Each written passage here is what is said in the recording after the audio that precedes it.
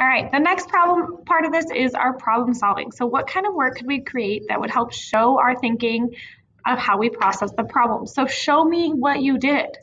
Okay, so what I did was I did mine on a piece of paper. So I'm gonna make the picture of me a little bit bigger. I did mine on a piece of paper right here. Okay, all of my work. Okay, so it's similar to what we did in the model, but all my work is actually written down. But now we need to get this piece of paper into our Google Slides. So I showed my 60 divided by 5, I showed my 12 times 6, all of the steps that we did in that first part. Okay, so what I'm going to do is I'm going to use my phone and I'm going to take a picture of this work. Okay, now once I take this picture of my work, I have it on my phone. What I'm going to do is I am going to email it to myself. So I'm going to go to my email and write a new email and send it to my school email to myself. Okay, so you're going to use the attach button and you are going to attach it to your email. It might be sideways, it might be crooked, that's okay. Once you attach it to your email and you send it, Okay, mine says it's sent. So I'm going to go check my email. You may have to refresh your page in order to get it. Okay, and look at it, it's right there.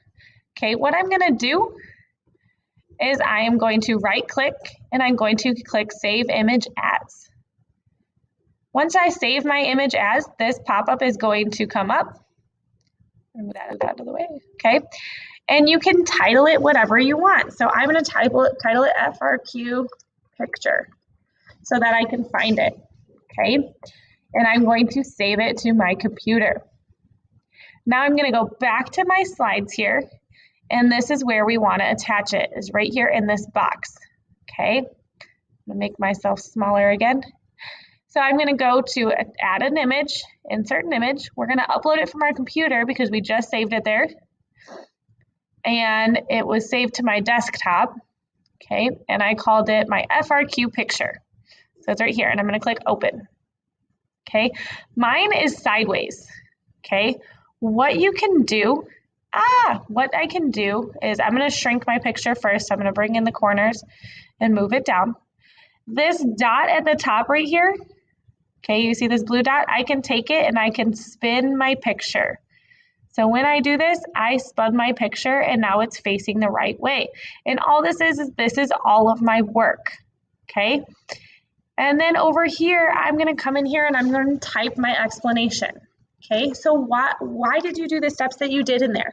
So just like we explained in the first one, I did 60 divided by 12 because, or 60 divided by 5, sorry, because I had five equal spaces left over.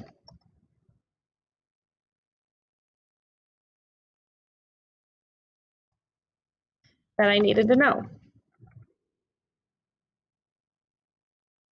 And that came from the representation part that we drew. So you kind of have to do these in order. Okay. Um, we did 12, I did 12 times 6.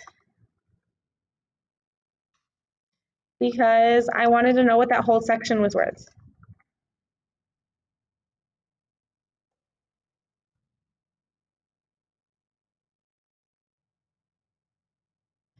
And you're going to continue explaining why you did each one of these parts.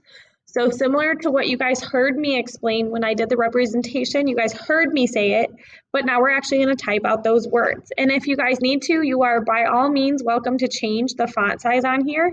So I would probably change it down to like 12 so that I have room to type. Okay, but you're going to add your picture right here so that you have your representation there.